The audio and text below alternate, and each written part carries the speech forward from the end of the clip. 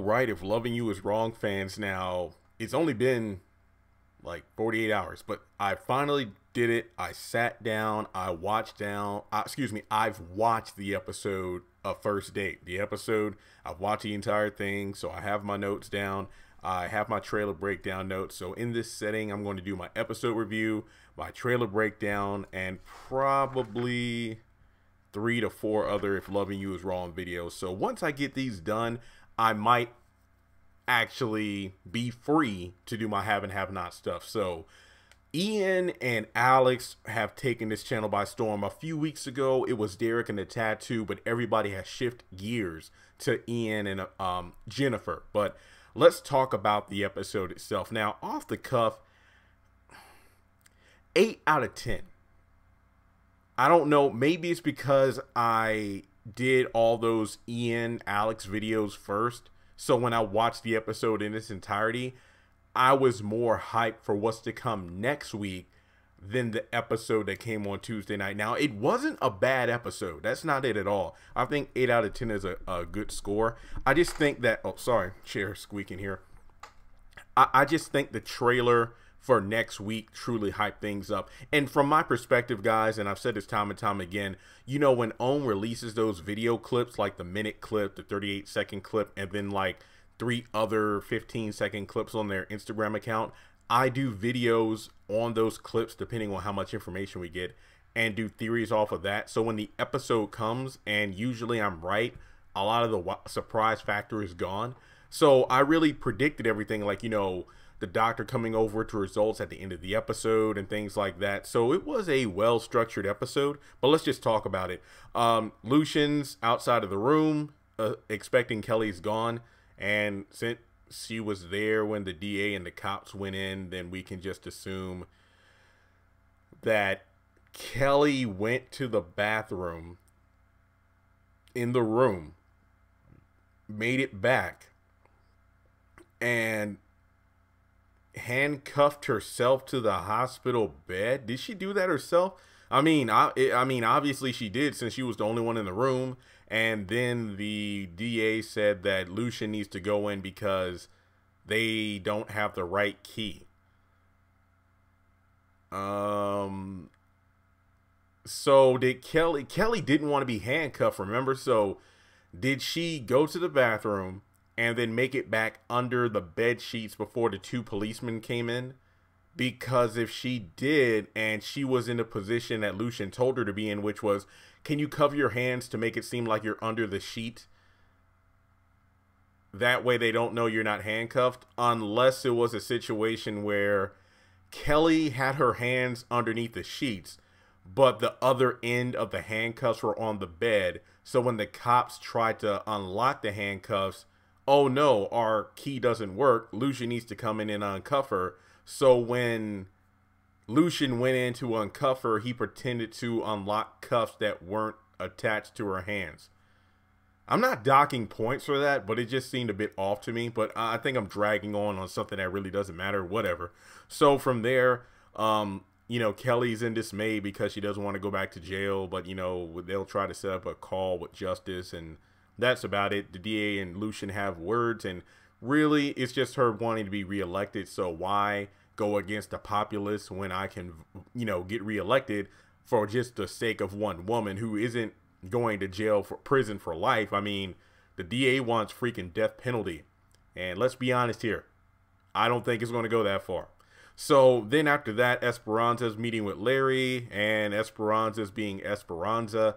I mean, she wants to threaten Eddie, but not reveal any of the dirt that could threaten him because she doesn't want to ruin his life. Because, I mean, if I were Larry, that's kind of like, well, um, what am I supposed to do? No restraining order, no sexual harassment. What exactly do you want me to do? And pretty much, you know, they reveal, like, oh, we got a common enemy here. So, what they would do from there is um just try to take away oh, excuse me uh, just try to take away custody of the daughter and that's pretty much it. And the whole thing about you know can you hire someone to kill him was quote unquote a joke. But yeah. So yeah, Esperanza just kind of wasting time there until we brought up the daughter thing. Like literally, you walked into the office of a lawyer, and it's kind of like it's kind of like you know she went to a teacher to tattletale on a boy that's been messing with her in class, but instead of either mentioning the name of the student or saying exactly what the bully did, you're kind of just wasting your time and theirs. But eventually, the whole daughter thing came into play. Uh, Randall calls Marcie. Not much to say here. I, I just feel like I don't know why these people don't either block Randall's number or change their own phone number. I really have nothing else to say on that. Um, then she's talking with Brad, 7 p.m. Let's go on dinner. That'll be our first date. Uh, Tanya and Bennett talk, and this is actually uh, one of my favorite parts of the episode, believe it or not, just because we get more backstory on the two. And at first, when we first met the two, it seemed to me like Tanya was the one that wanted them to move from their previous building or neighborhood because Bennett had a knack for getting involved with the affairs, not, you know, when I say affairs, I mean like troubles and whatnot of the other neighbors because being a fireman, he wants to help others. And because he got way too involved, those two got involved in way too much craziness, so they decided to move. But it turns out that the reason, and most likely the reason they moved, is because Tanya had a few episodes, if you will, in her previous location, causing people to stare at her funny. And I mean, literally, if some if your if your neighbor was in the middle of the street at night screaming and butt naked, and then the next day doesn't remember anything, why why the hell wouldn't they look at you weird? So we we know that, well, we don't know for sure, but it seems very likely that Tanya was the reason they moved away. Bennett doing what he could to make his wife comfortable by just going to a new location. But yeah, I, am willing to bet Tanya was the one that really triggered things, if you will. Um, then we learned that she wants a baby, but Bennett, I wouldn't say Bennett is fully against having a child. He literally says that. It's just that you need to take your medication or you'll continue to have those episodes. But Tanya's like, if I take the pills, I can't have a baby. So, yeah, it's very interesting. And then from there, um, it, it's pretty much a situation where she talks about the doctor across the street. I don't want to talk to him anymore. And um, Marcie and Natalie talk briefly, just catching up on what's been going on with the two, talking about Kelly. And it's funny how Lushion says, I'll kill a bitch to protect him too. Referring to Lushion. I think that's a pretty interesting line of dialogue we shouldn't forget. Um, Brad comes into the office, takes her away for dinner. So we'll see that in the next episode. Natalie approaches um, Randall. Is like, hey, ah. And once again, I did a clip on this. They go back and forth, pretty much a situation where I want to tell that you're just, you know, looking into his wife's house with those binoculars. And it's like, get in the house. No, man, get off my lawn, you hood rat. And then from there, Esperanza approaches Eddie. Hey, in two hours, let's go to a restaurant to talk. Uh, Bennett asks Randall not to talk to Tanya again. Sure, whatever. Nice guy. Then he's pissed off and goes to Alex's house. And I've done plenty of videos on this already, so not really to harp on it. Alex wants to set some ground rules, then asks for a retest. Then Randall is like, if I'm not the father of that baby, oh, wait, oh, yeah, you think I've done stuff now? It's on, it's on. And then they go upstairs. Uh, then they're at lunch, you know, Esperanza and Eddie. And this probably was one of those scenes where I liked Esperanza because she was actually coming across as, look, here's how things are going. Eddie, you're an asshole. And then Eddie was just being Eddie. And I'm not an, I don't know how, I'm going to be honest here.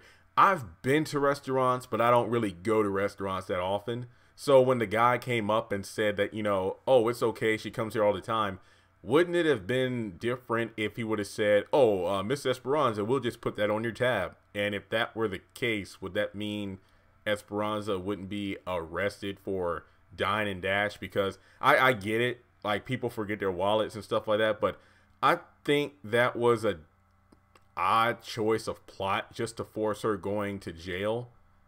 I think that was a bit extreme. I don't think that if anything, it just made her look airheaded. And I really don't want to talk bad about Esperanza in this scene because once again, I think she did really well in this scene.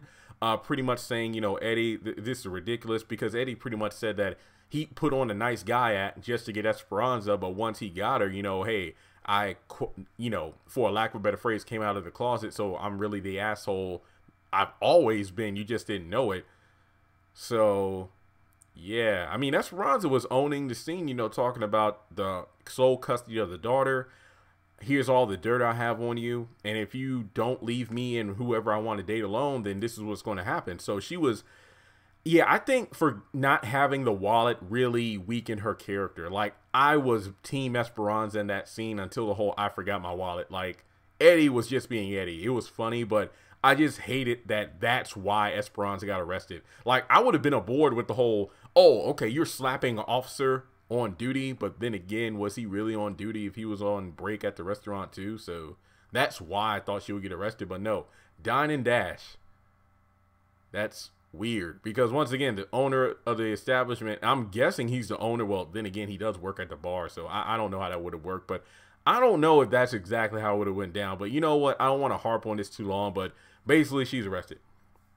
Then once again i've talked about this. The doctor comes over with the results. Alex is shocked for whatever reason she hasn't. So was she ducking and dodging the doctor's phone calls? Like literally what what has alex been doing what that would warn her not answering the phone?